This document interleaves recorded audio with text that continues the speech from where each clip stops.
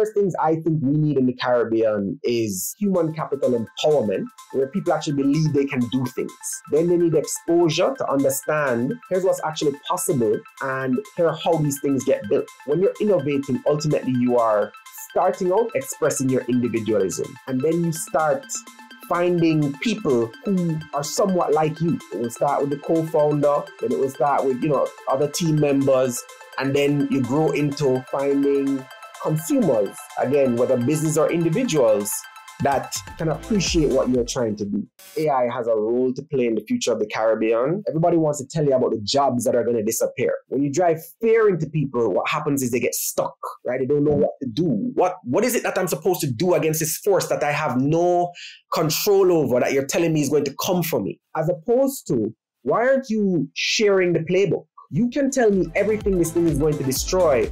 Tell me what it's going to build and tell me how I can build on top of it my strategy is not going into the inner city and pulling a kid out and saying, hey, you're the next Google. My strategy is more so identifying people who have managed to take the bet on themselves, sometimes coming from the inner city, quite frankly, sometimes not not very often, but in some instances coming from pretty well endowed backgrounds, right? But wanting to do something different and being able to help them shape the outcome. And most importantly, taking a diverse approach to connecting the different parts, primarily people, in delivering that outcome.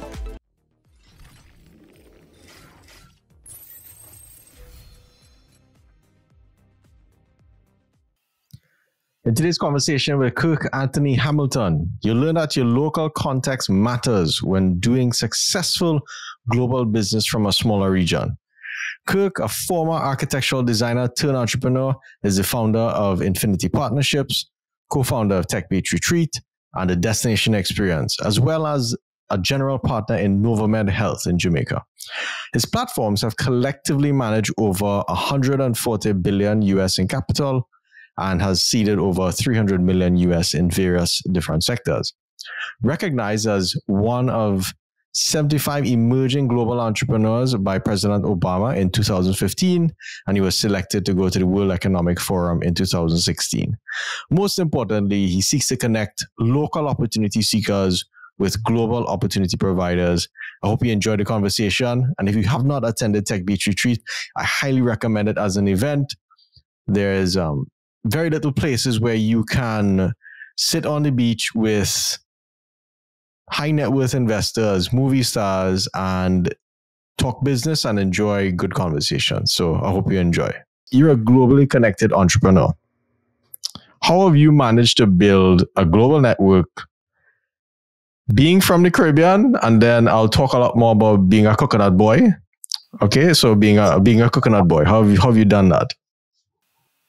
Um, so interesting question. Obviously, you know, the, the, challenge with these things sometimes is is reflecting back and, and trying to think, well, how did it actually happen that you're in this position? And I, I don't necessarily think of myself in the same light, but do do appreciate it. Um, you know, there was a time years ago, like back in 2013, 2014, um, where I was flying around the world like a headless chicken, just trying to tell anybody who would listen of substance about the Caribbean opportunity and what they were missing out on, right? And, you know, I always say to people, especially when I look at Jamaica's economy, for example, which, you know, over the last decade has has made some progress, still a lot of challenges. But, you know, when, when I started out doing this, my my product really was just simply I have a conference, right? Like I'm trying to invite you to the Caribbean to be in an event, right? And initially, it was all about getting high net worth people to come to the to the Caribbean, starting with Jamaica, and meet other high net worth people, right? With the thinking that you know, when in my mind, when wealth meets wealth, it usually drives opportunity, right? Um, and I do think that's a simple reality. Um, but then I started to realize, you know, what you what you're really trying to drive here is transformation, right? Um, and ultimately, what started to unfold was a was me facing a, a reality that people need to learn, right? From both sides. Like there was a lot of misunderstanding on the global end about what's going on in the Caribbean. And then on the Caribbean end, there's a lot of misunderstanding amongst all our demographics up to the highest level around the global landscape, how to pursue it, you know, etc.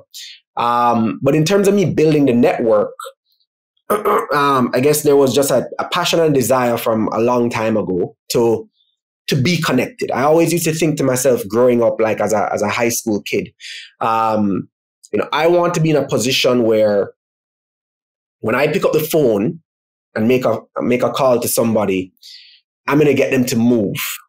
And so something that would take other people three months, years, maybe they've never achieved it, would take me 20 minutes on a phone call, right? And and I used to always just think to myself, these families in the Caribbean that you know we say control everything, etc. Um, you know, what is it like to sit in some of these players' shoes in the way that we imagine things work, right?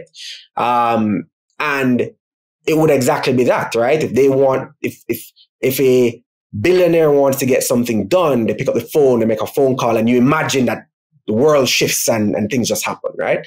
Clearly, we know now that that's not necessarily how it goes, but you can get a lot of movement on things more so than others based on influence. So I used to travel all over the place, talking to all of these people, trying to invite them to the Caribbean. And I guess I've built this network through two things. One was persistence, and the other was simply execution. The fact that you actually do what you're telling people you're going to do, regardless of whether or not they help you, um, I think for most onlookers is is something they buy into, right? Because over time, now they're realizing, okay, this guy was serious, right? And he's not just he's not just a talker, which most entrepreneurs, investors, etc. Most successful people really don't like talkers, right? They want they like doers and they want to know that you're going to do. And it's, you know, entrepreneurs are typically met initially with skepticism, right? Um, even by other entrepreneurs and investors, even though they might be your most likely first adapters or, or first bets in terms of people who will take the risk on you. Um, you're still initially met with skepticism when people know nothing about you. They don't know anything about what you're trying to achieve. And are you the person to do it?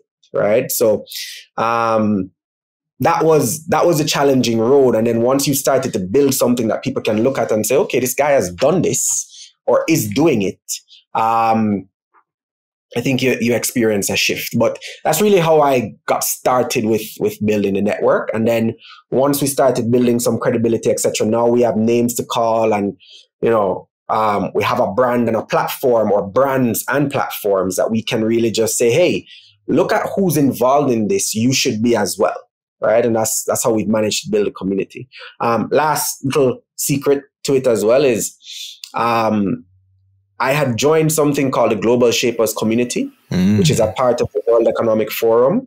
And, and that really drove a lot of my outlook and my um, connectivity um, in the global landscape, right? And I was able, because of that, to then access a bunch of other communities all over the world where I would always end up being like the only Caribbean person, which has been an inspiration for me, not from the sense of liking the fact that I'm the only Caribbean person, but realizing like there's a need for us to be in more rooms and wanting to create those gateways for people to have that kind of access. Yes, you're real thing there. Yes, you're real thing there. a couple couple things that stuck out to me well, I, I, call you a coconut boy, so I just wanted to address that particular statement. Uh, to those listening, the term coconut boy refers to the fact that we try to model a lot of what is happening in Silicon Valley. And I, you know, we put Silicon Valley on the pedestal. There's Silicon Alley in New York. There's things that go on in London. And this is how we are taught that business is supposed to run, business is supposed to evolve in this particular manner. And I, I was talking to some some Trini friends and, and they were doing, they were going to launch a global startup. So we're talking about today. What we're going to do thing, yeah. We're going to talk to these Silicon Valley investors because they have connections out there. I say, listen, fellas, this, this ain't to work out. Right? All there's no, no, no white boys out there in Silicon Valley, right? Only a couple of black fellas in the Caribbean. Um, we all are coconut boys and we are coconut boys. And what that means, it's not the most inclusive term. So I'll, we'll, we'll fix that at some point. But what it means is that we have to recognize that we are coming from this Caribbean region and there's a perception about us, about how we do business, about how we execute, about what we are capable, capable of, both in starting an organization, growing it, exiting it, etc., etc., that we always have to keep in the back of our mind. We can't just come rule like these other people in these business situations.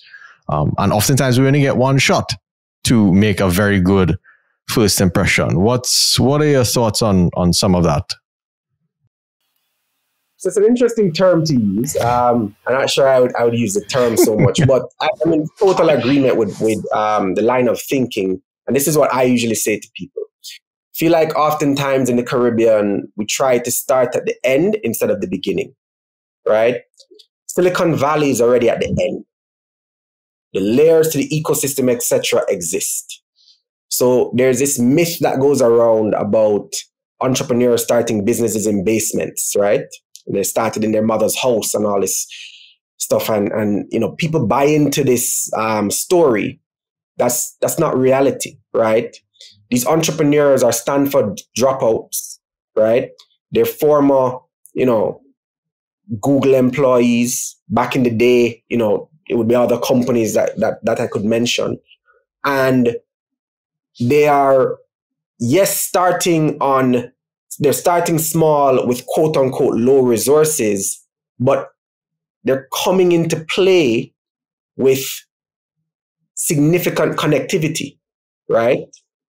They have wealthy friends, they have very smart friends, and they have access to a lot of people because of these fertile landscapes that they exist in. So to me, if you're going to start a certain, an innovative business in the Caribbean, you have to look to playing a role in developing the ecosystem that you need for that business to survive and to thrive, right? So you cannot just be a fintech business, for example. You have to be a platform. And that platform has to do various things that quite frankly, even these in these fertile grounds, you know, people build businesses in this way sometimes, right? You you have to be able to educate your consumer you have to be able to educate talent that you're trying to, to, to grab onto, right?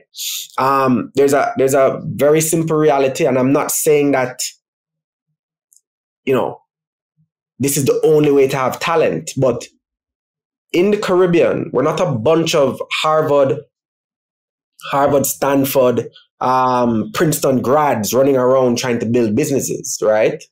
And while we can create our own version of that, we cannot ignore the reality of if you have a group of people coming from the most polished institutions in the world now coming together to build something, what is your version of the most polished institutions in the world coming together to build? And, and that is what you have to think about in trying to create, right? Um, so, so that's my take is that people have to look beyond themselves when trying to start these businesses in, in our region and realize that it's not going to happen overnight. And you have to be a net contributor, not extractor. Because that business model, as far as I'm concerned, in our market is dead, right? There's some players who own it. And unless you just come with a bunch of resources out of nowhere, you're not going to be able to um, approach business in that way, right? And and the new model, as I see it, requires that you are making a strong impact, and I don't mean this as charity, but you're making a strong impact on the surrounding ecosystem that you need in order to grow a business that goes well beyond just well, here's what I'm trying to sell to you. You know, please buy it. Mm-hmm. there has to be that integration with your local partners and everybody had to get a piece of the pie, essentially, right? Exactly. And it can't, we just can't be one dimensional anymore in building businesses, right? And, and again, this is a global thing, right? We are living in a much more multidimensional world, right? When you look at what, you know,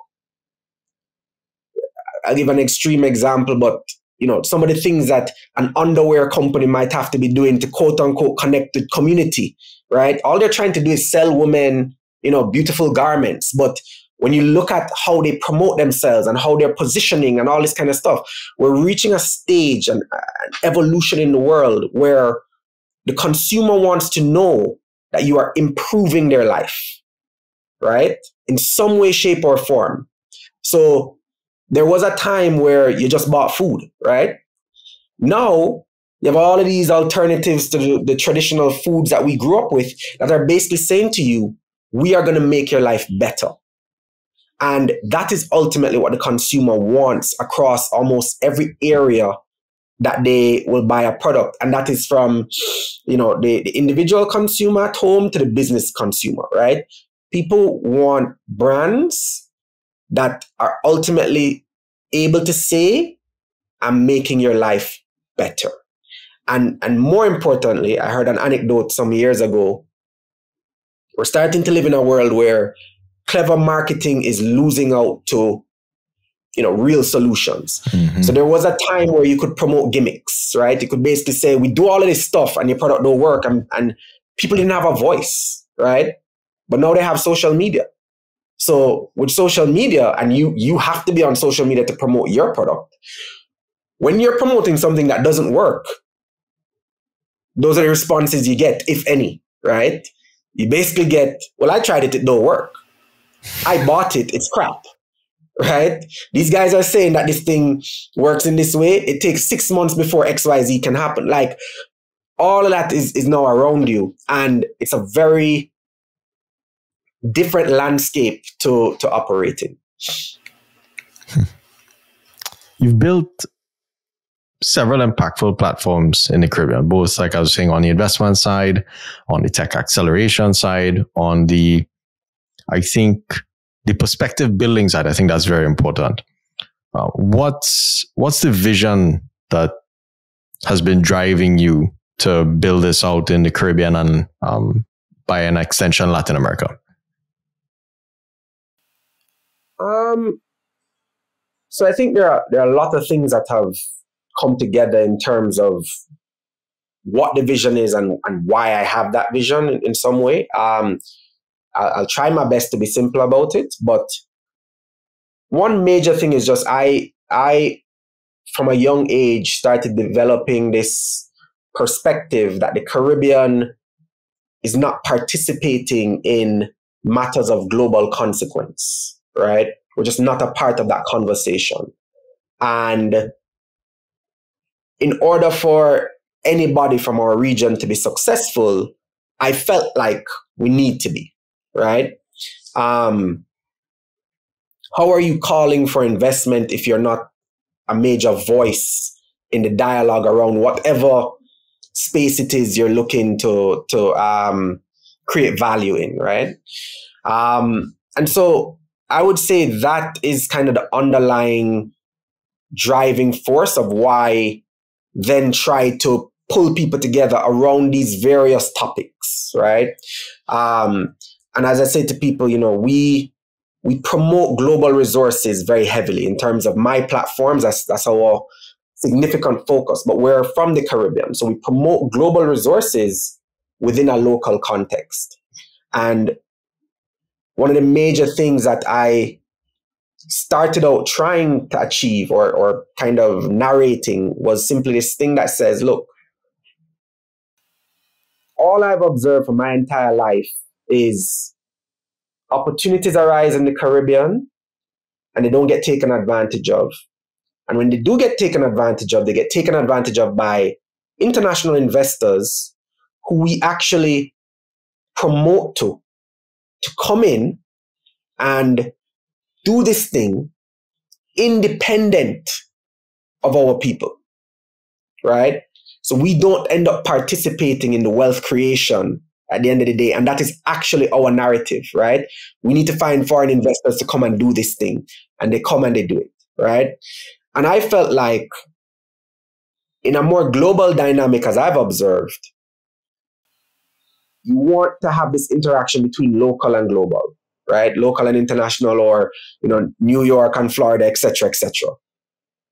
Um, and that dynamic allows people on the ground to be able to rise along with fresh minds that are not jaded by you know their long history of lack or whatever else maybe keeping back a country or, or an environment right? And so that's always been my major push is how do you shift from an extraction model to one that is more balanced? Because the other one doesn't work either if you ask me right? It doesn't work that you um you move to a model where it's just all about local right? Um that that's a very difficult thing to achieve as well right? We we need to be in operating in a very global environment where we actually have a voice. Yes. Makes sense makes sense. What components do you think are needed to to have a thriving tech ecosystem in the Caribbean and Latin America? And uh, what is what is your definition of a thriving tech ecosystem? Okay, um, I think my I think my definition would simply be, you know, an environment where people are able to build solutions to problems and actually sell them right? That's that's when you're thriving, right? You you can look on at a problem and say, you know, this is worth my time and it's big enough and I'm going to go after it, right? And what I always say to entrepreneurs in our market is, you know, I don't think there are too many bad products, even though I do think you need to think about why are you trying to solve this and is it a big enough problem to solve? But my example usually is this, right? Late night on TV in America, you'll see these ads selling chia pets, right? And it's been happening for decades. I don't like chia pets. I'll never buy one.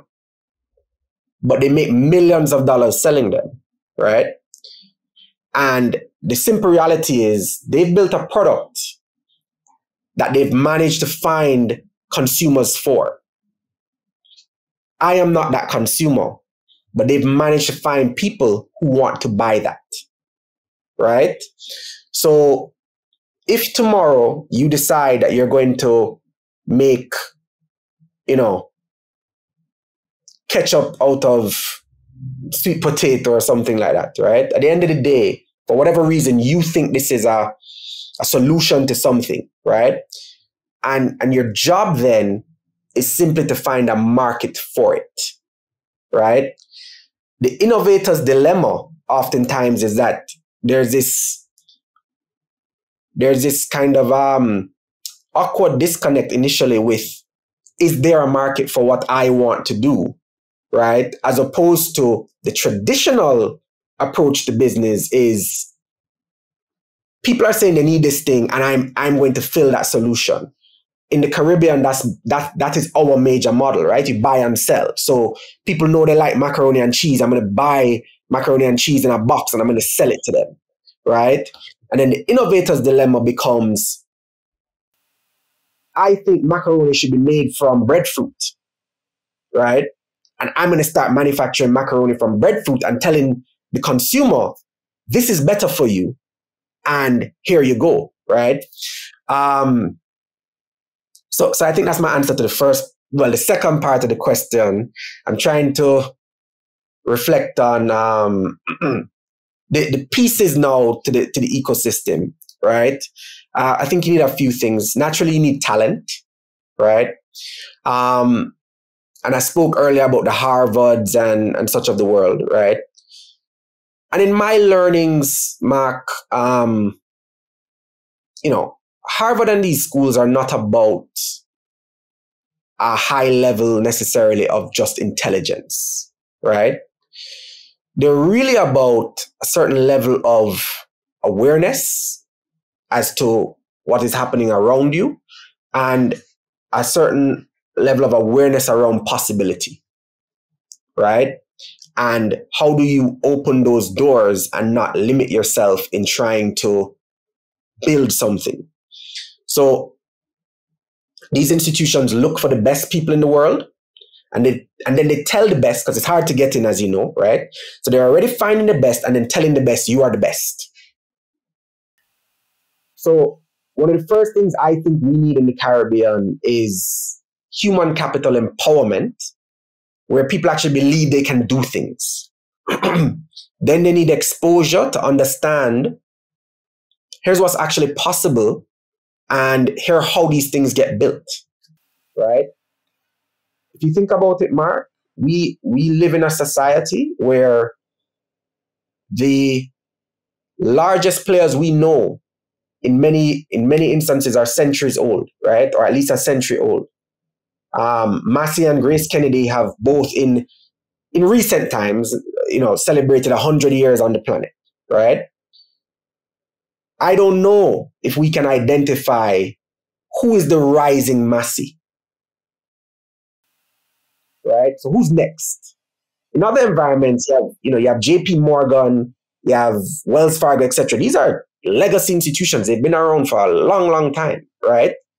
But we can point to who's building the next bank, right? When you hear about these, you know, neobanks and fintech platforms, etc., you, you start to see the solutions coming, right? We don't have many of these examples in the Caribbean of recent you know, quote unquote upstarts, even in the last 20 years, who are contending with the big players, right? And that's where you ultimately want to get to. Um, so beyond the talent piece, you need um, need a landscape that that has room for disruption, which we definitely do have that, right? Um, you need a consumer that is open to something different. And I think that is one of the areas where we are most challenged, right? We are supremely skeptical, right? Um, I don't think we realize how skeptical we are, despite the desires we express as we look at North America and you know a lot of our people move into these territories, etc. On the ground in our region, we're extremely skeptical.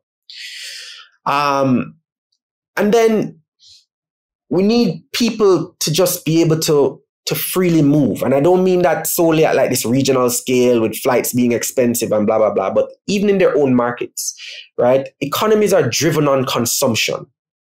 And in the Caribbean, we don't promote consumption and we don't realize that we, we do a poor job at this, right?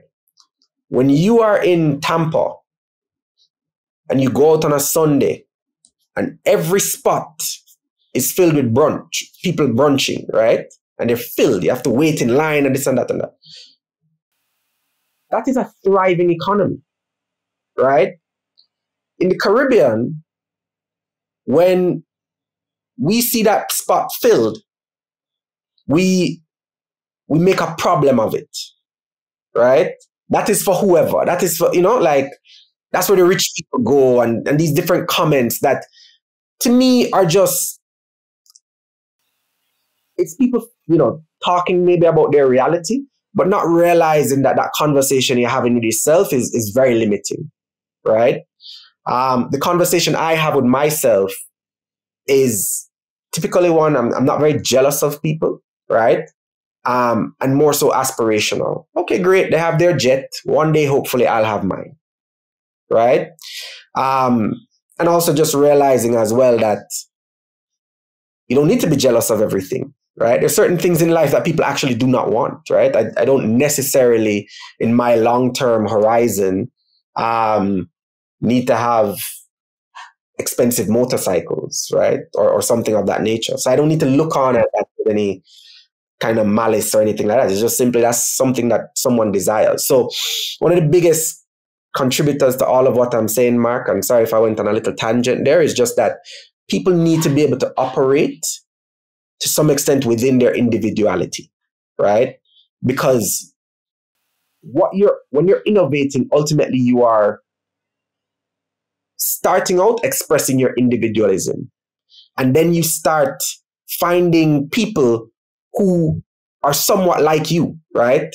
It will start with the co-founder, then it will start with, you know, other team members, and then you grow into finding consumers, again, whether business or individuals, that can appreciate what you're trying to do. But as I said, that skepticism piece, which is which is global, is highly amplified in my mind in our region, right? And and that's a layer of a mindset change that we have to figure out how do we start breaking in order for people to really be able to build products from the ground up in our market and then sell them. I, I enjoyed the tangent, by the way. Um, you one thing, I, I don't know if it's the the tone with which we speak that makes our skepticism amplify that much more. And and so I've I, I've spent a lot of time, you know, say I live in America. So you, you don't get exposure to the local accents, to a lot of the I like the word skepticism. I also like the word doubt, um, induced doubt that people sort of inject. And one thing that I wanted to double click on that I learned about all these Silicon Valley uh, places. I work for the top machine learning company in the world. I feel very privileged and blessed to to be here. And what I've learned, um, especially at like if you visit Stanford, I, I always recommend anyone to visit these um, sort of pedestal institutions, let's call, sort of call them that, that produce these, um, what's the word I'm looking for? They produce anomalies to some degree. Very, very successful anomalies. Um, and, and you're completely right in the fact that the only difference between them, other than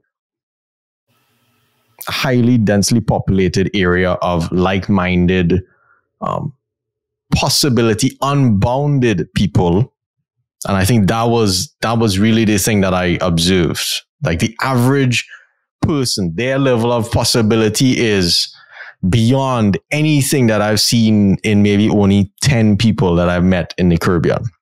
And that's the average mindset of possibility. They're what? Oh, we're just gonna do this. And there's there's no roadblocks in their mind, even though roadblocks exist in reality and they go meet those sort of along the way. So I, I appreciate you exposing that or, or reinforcing that and then i think also calling it out through the mechanism of human capital empowerment. I think that's another domain that i think is very accessible for everyone. Um, and and it, this leads me very nicely into the next question of fear mongering okay so we're going to get into some fear mongering conversations. Um, so one of your missions is to level the playing field for people at home. And at home is, well, I imagine, all the Caribbean islands, but naturally the ones that um, you're most closely associated with. How do you see AI playing a role in this? So I think AI presents huge possibilities and, and has a lot of potential. Um,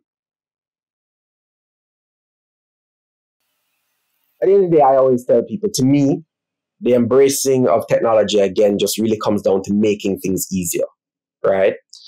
Um, so certainly, I think AI has a role to play in the future of the Caribbean, but I also feel like the the conversation around AI at a global scale is again over amplified, over promoted, etc., in terms of what it's going to do tomorrow, right?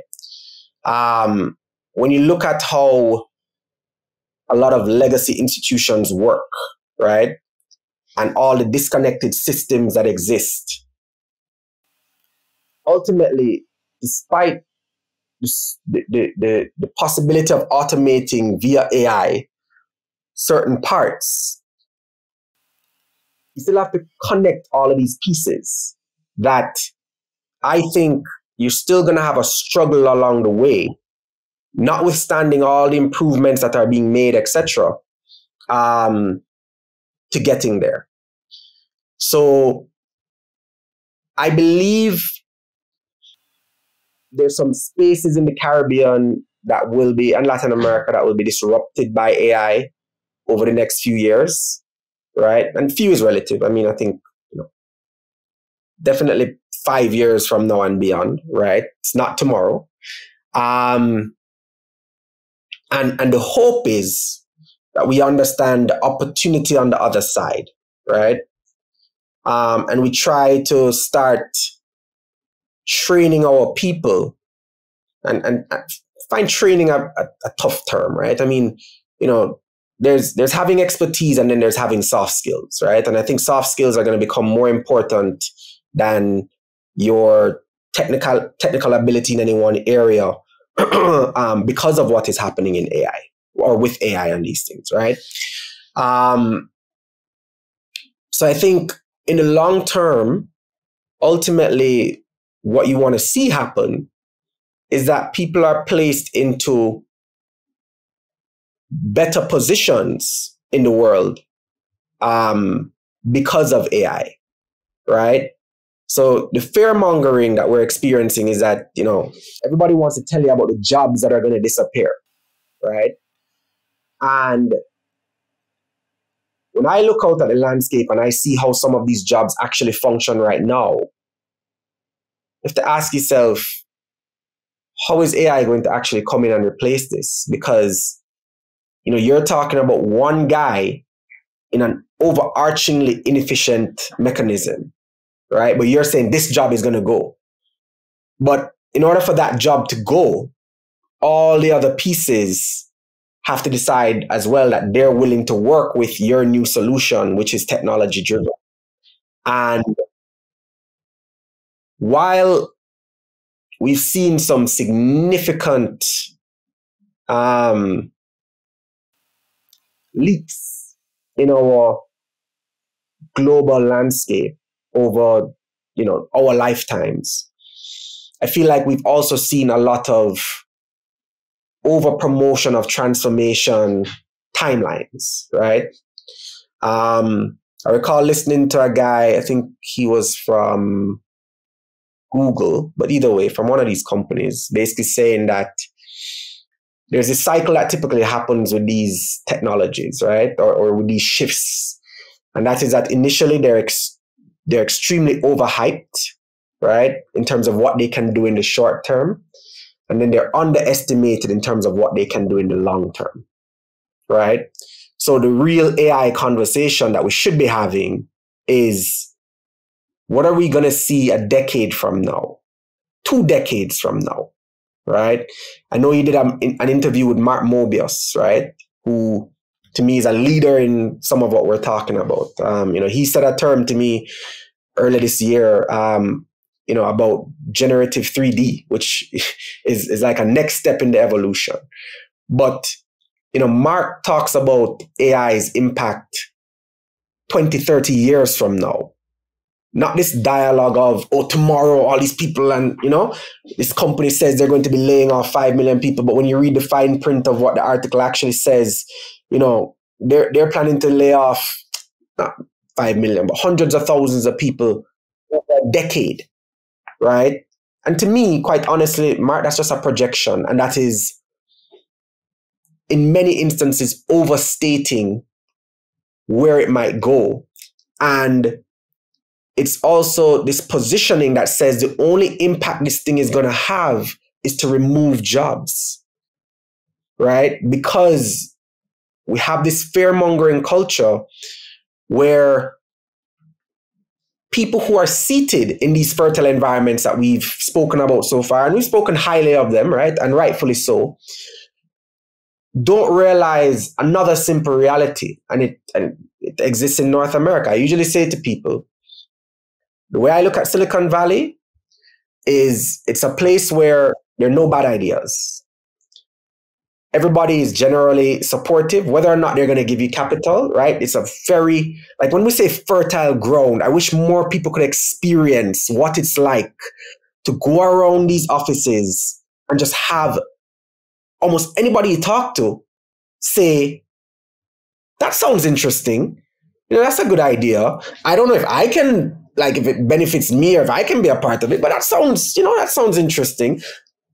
I, would be happy to talk more to you about it, and and they likely actually give you a, you know half an hour, hour of their time, even if it's just a brainstorm, right?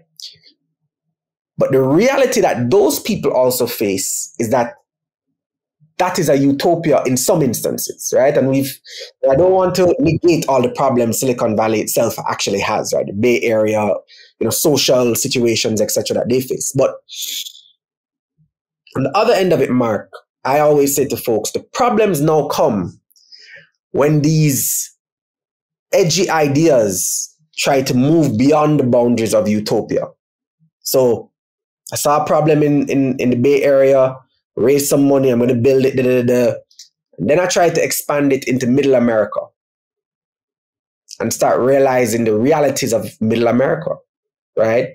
Nobody asked me for a prepackaged juicer that comes with this packet where the juice is already made and I'm supposed to use this machine and pump it out. I don't know if you remember the story of that company that ended up going bankrupt when when um Wall yeah, Street yeah. Israel money they had raised, Yeah, like four hundred million dollars, and then this article came out basically saying it, it doesn't. Act, the machine actually doesn't do anything, right? And it's interesting to me. These people didn't realize their real product was just whatever it was they were able to put in this packet, right? And if you could have sold that packet, you didn't need the machine, right?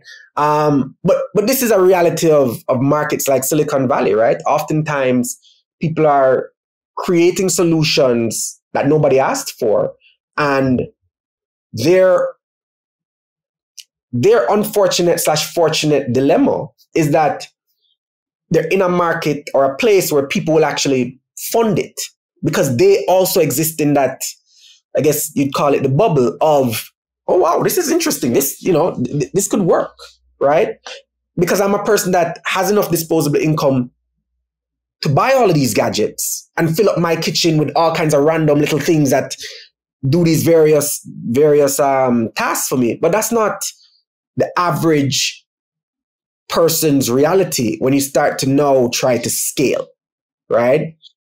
And that is where I think AI will encounter its walls, right? That nobody cares to discuss because we like the hype machine, right? Um, but but long term, I do think it presents some interesting opportunities. And the, the last thing I'll share for young people in the Caribbean is the legacy organizations that we're talking about in the in the region that need to be disrupted. And, and we, we need to understand something, right? Disruption does not mean destruction. Right? JP Morgan Bank still exists despite all the disruption that has happened in the financial space globally over the years, right? Um, American Airlines still exists, etc., etc. Boeing company, like all of these massive legacy companies. Maybe the best examples I can give are, you know, Toyota, Honda, etc. Right? These companies still exist. So disruption doesn't mean that you're destroying what somebody else has. And I think it's a a way of thinking that we need to lose sight of in the region from both ends, right? Because from the legacy institution perspective, what I think happens is you're not able to respect a quote unquote disruptor because you think the conversation is about him coming and taking away what you have, right? If you, if you really think about it, we have very few stories around this, right? We have what we can point to in terms of um, Netflix versus Blockbuster. That's one of the greatest stories of disruption actually eating a business away. But that business was complacent, right? That's not your average disruption story. And so then the disruptor also has to let go of this perspective that I'm going to come in and I'm going to destroy institutions. That's not that's not your job, and quite frankly, you're not going to do it. They're going to crush you if that's how you think you're gonna you're gonna do things. The reality that you're trying to actually get to is building something attractive enough that there becomes this layer of interconnectedness where not only can you kind of survive together, but somehow you end up having to intertwine, right? Um, and they're they're kind of shared dynamics, right? That that end up occurring. Um, one example that I can see in the Caribbean, but again, these are two outside companies operating in our region. In Jamaica, and I think in, in many parts of the market, Cable and Wireless owns a lot of the towers that Digicel up, ends up operating on. And that's a story that I don't think we tell enough of, right? In terms of we see two competitors, but they're really, but the reality, they're very exactly, integrated, they're yeah. That ultimately have to feed off of each other. Don't matter what their marketing may say about each other, right? They have to feed off of each other. And I don't want to tell a wrong story here in terms of I'm positive that over the years, what has happened is Digicel has built their own towers, and now you know the the, the opposite happens, right? Where cable and wireless shares in their resources, right? Um, so the more I feel like you understand how these collaborations happen and the interconnectedness, etc., you you you kind of get the sense of well, what is it that I'm really trying to build? And and like I said earlier, it's not the destructor. And and too many people think that we're we're having a conversation that's around destroying the way things work as opposed to enhancing them and building better versions of them. Interesting. I I see something slightly different. I'm I'm sort of in line with I think the fear mongering is is good to to wake people up, but at least from the perspective of I think a lot of people operate on the assumption that there'll always be jobs. And that's been promoted, I think, throughout our entire sort of schooling.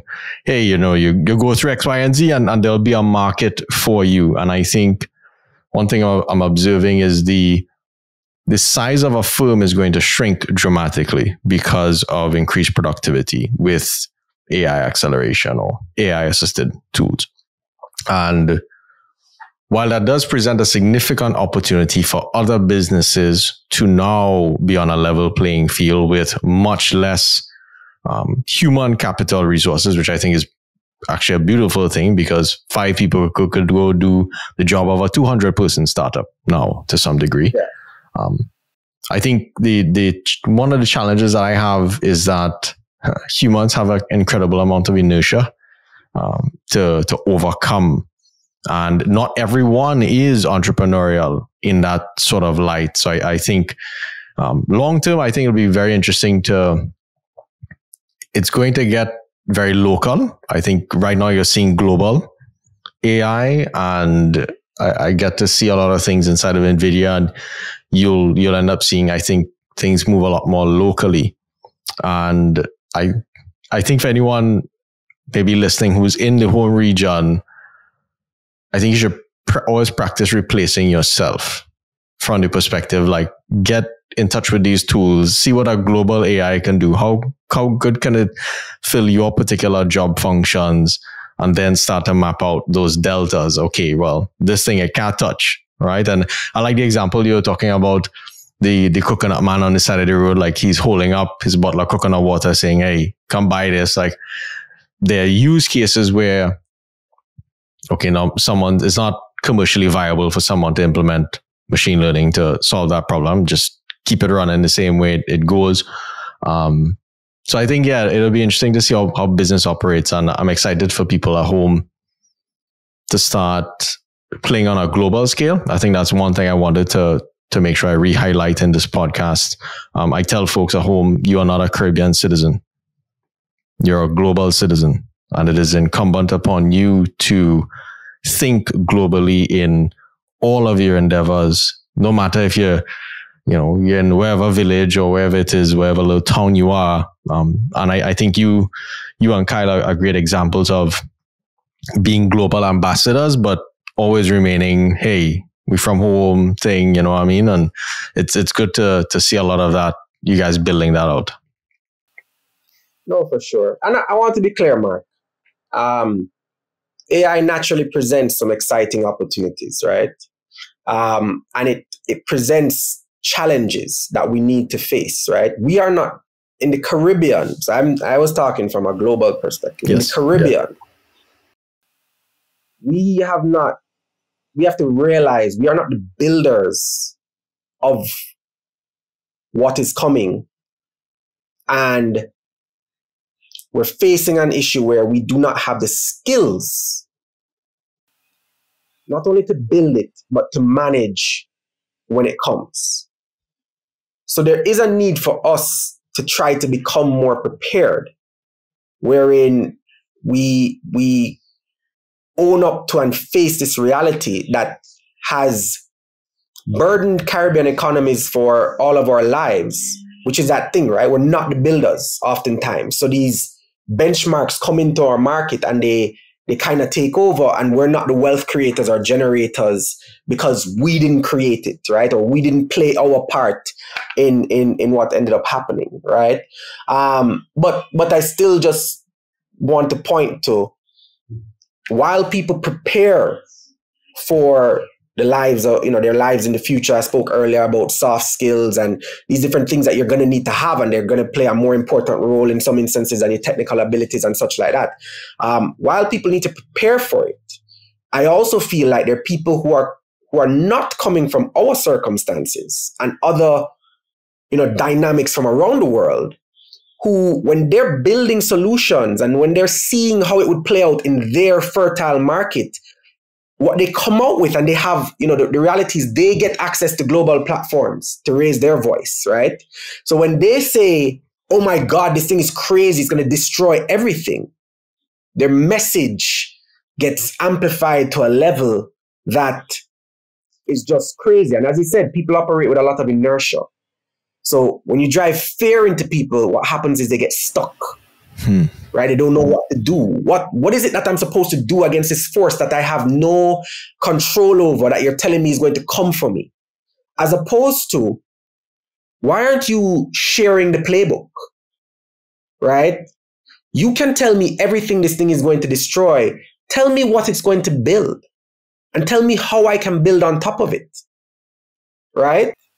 So that is the thing that I, you know, over the last six months, I feel like I've become very, not just intrigued, but kind of feel like I need to act on behalf of. It's just saying, like, look, you, you can't have this one sided message mm-hmm. that just, you know, quite honestly, there's a lot of ego built into how people like that position that message, right? And NVIDIA, to me, the company you work for, is the biggest player in AI in the world as I see it. I don't hear that message coming from NVIDIA. Right? Um, I, I actually don't even hear that message coming from Microsoft. So I'm speaking to some very specific personalities out there who feel like in order for them to penetrate the market, and more importantly, in order to feed their ego and sit on their pedestal, the language that they need to speak is, is this is the one-sided one that gets a lot of attention that says, you know, this is this this may play out to be really bad and I don't know how to stop it. But I'm the one building it. Right? So so I want to be very clear, right? As a global guy, I'm actually speaking about very specific global personalities who have chosen what I think is a misplaced platform in order to sell their wares. I like that. I like that. Um, I think to, to run out the, the AI discussion, it, it'd be very interesting to see at home what new startups get built leveraging machine learning and also what markets they're able to penetrate given that type of acceleration. And I think one couple of areas of opportunity that uh, that excite me are the the accent voice technology. So voice technology is typically driven by the North American dialect and accent versus there's an amazing diversity of the English language in the Caribbean region and it's it's many variations. I think that's one and then um, naturally the Caribbean I think has been looked at as an a huge augmentation hub for your company in terms of talent right? Be it business outsourcing, etc., etc. I think there's a cool opportunity for data labeling as well, because as all of these different systems need high quality labels. You need uh, affordable people to affordable, intelligent. Or, yeah, let's okay. Let's let's go around with that word to uh, to label this data effectively to train these these systems. So it, it's going to be an interesting couple years, and I think next year you'll you'll end up seeing um, things take a, a much different direction because now everyone will start having the actual technology and the compute to to retrain this thing. So it, it's going to get um, it's, it's going to be an interesting time. So I wanted to ask you, knowing what you know now, right? You've you've been working at building these hmm, these ecosystem building platforms, like as we were saying, both on connections, investment, um, possibility mindset. Most importantly, knowing what you know now, how would you navigate business differently in the Caribbean or some other less developed region? Hmm. Interesting. Um,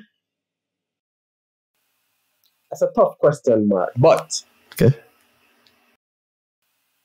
I guess two, twofold. One, I probably would have started earlier, knowing what I know now, right? That I've started from before.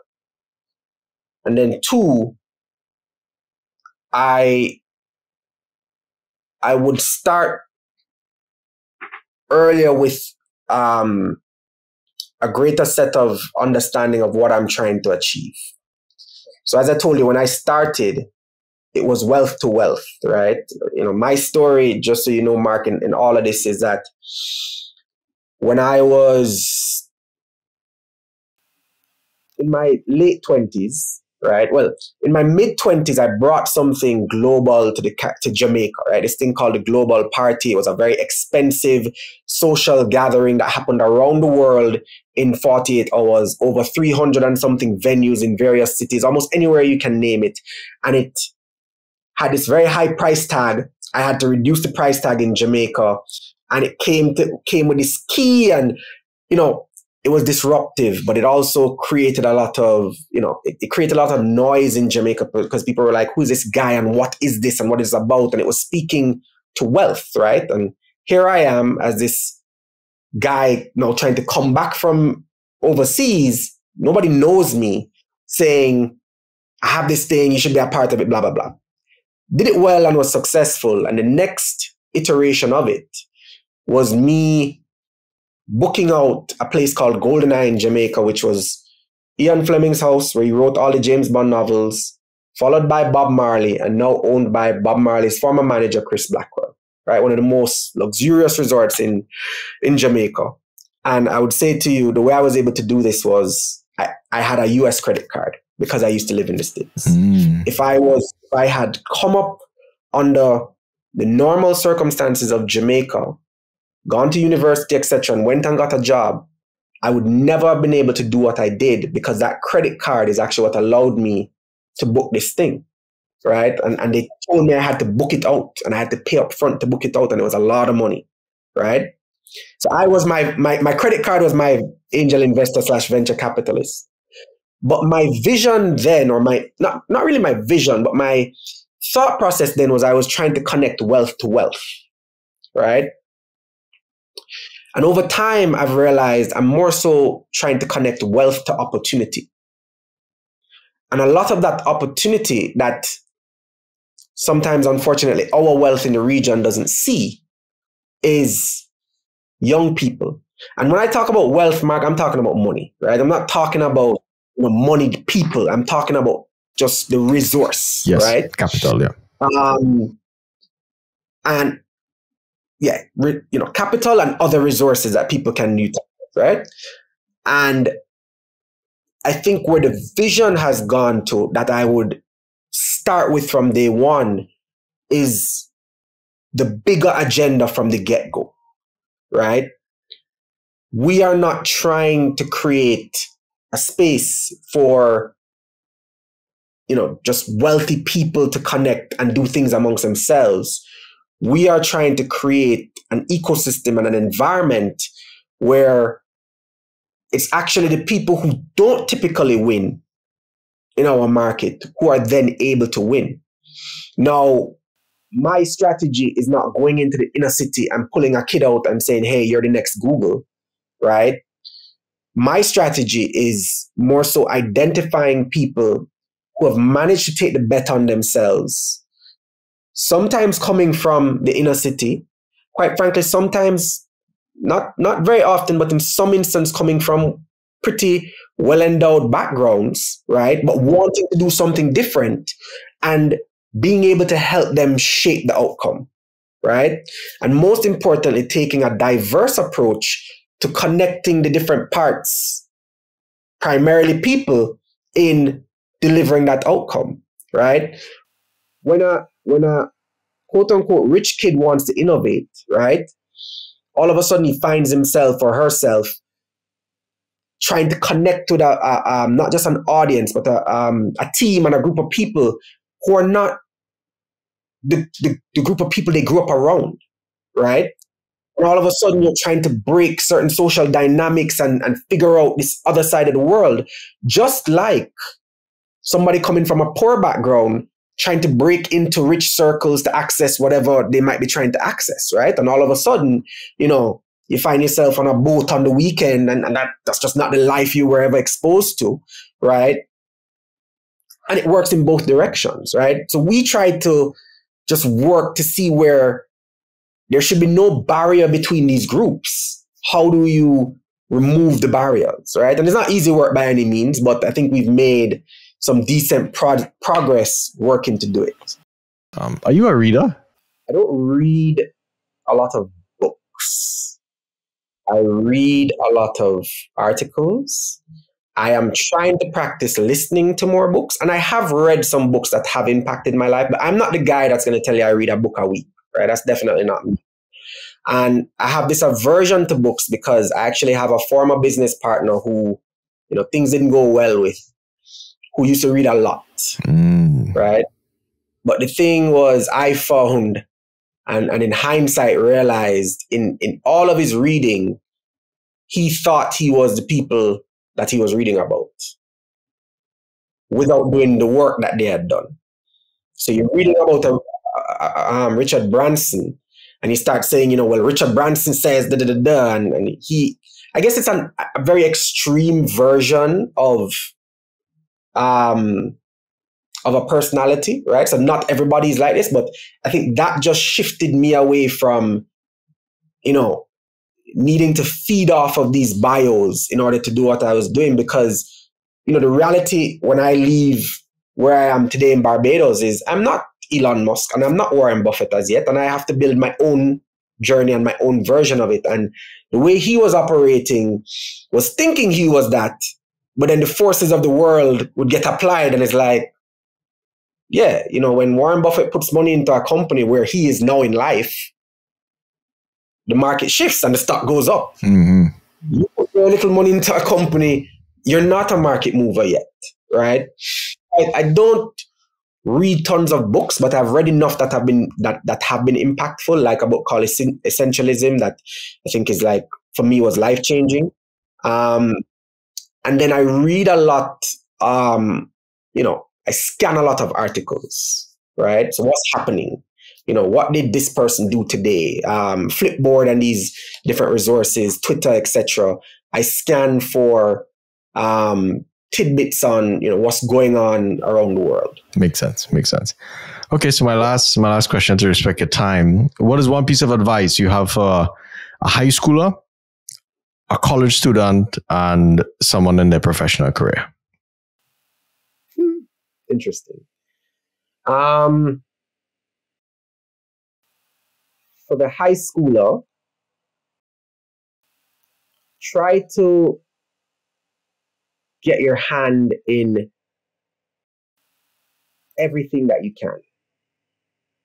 Um, expose yourself to multiple career paths and you know use the internet etc and, and, try to explore them um, for the college student um, do what the high schooler is supposed to do, but you're going to be likely doing it in a different environment. So realize that, you know, I, I think that's the part now where you have to start becoming reliable and excellence driven, right? And I think this is a big opportunity overall, Mark. We're living in an era now from millennials down where a significant part of our population is not excellence driven. And we're seeing this decline in service and reliability from, from companies because the people that are to deliver, right, just simply in many instances could care less, right? And I feel like we're living in a world now where it's more. We used to live in a very customer centric world. The customer is the most important. We're now living in a very co- company centric world. Well, here's the convenience for me as a company. And what you want, it's just not going to work for us, right? Um, that's a very challenging dilemma to me. But a professional, um, I guess again, same as a high schooler and the, and college student, um, maybe a, a, greater focus on on being excellence driven, um, but try to start building something. Doesn't matter what it is, and doesn't matter your approach to building it in terms of you know I'm not going to tell I'm the first person to tell somebody to quit their job first and foremost, right? When it comes to entrepreneurship, I love telling people, look, and I realize I have to be careful. Leave your job, dedicate yourself to this. Entrepreneurship is great. But in not being that today, I don't think a lot of people spend enough time realizing one, the beauty that comes in being able to build your dream, hmm. but on the other end, the difficulty that comes with it and there's a significant amount of value to at least exposing yourself to what it takes to build even before you go and leave a job so that when the time comes whether you have the luxury of choice in leaving or as you pointed to mark where you know there are we are going to see some roles get replaced etc and you now find yourself in this position of necessity and having to do it that you have a certain set of skills that are required that you know the, the example i usually give mark is when you work for the big corporate entity a lot of people don't realize that that is what you represent. And the guy on the phone who always picks up the phone and talks to you is not talking to donovan he's talking or or, or michelle he's talking to Massy group He's talking to Republic Bank. He's talking to Goldman Sachs or Microsoft, etc., etc., etc., etc. And when you opt to leave that business, I've seen it happen a million times. You now become Donovan or Michelle, and they don't have a clue who you are. Hmm. Right? So, so I would also encourage people to realize that while you build relationships on behalf of your company, you need to also focus on making an impression for yourself that people resonate with you and they remember you and they find value in you, not just the company that you were with. So that when you pick up the phone and you call them, in their minds, they start thinking, Michelle is who used to do X for me. I need to get Michelle to keep doing it. Right? Yeah. Um, and I've seen if you have that mentality, there there is that other side, right? Like we have a story within Tech Beach that will be told pretty soon, where there's a there's a young lady who used to work with a very big global tech company. We've seen what has happened with tech companies this year, right? So she's now departed, and one of our startup portfolio companies sucked up that talent, right? And I think it's incredible. But the reality is, she has a lot of personality. So what the person who has now hired her was seeing was not the big company. He was seeing what she was doing in that company and then wanted her. Yeah, um, no, you had to run. So this was this was good. I appreciate the time. I want, to, I want to do a follow up with you. I've enjoyed this a lot, Mark, for sure. I, I would be very open to doing a follow up with you. I know you wanted to touch on the architecture thing, which um, I think can be a, an interesting story. Yes. Um, for sure. And it has been a big part of my life despite despite the fact that I don't practice architecture. Okay. Cool, cool. Well take it easy, man. Handle. Later. Amen. All right, bro. Thanks for the time.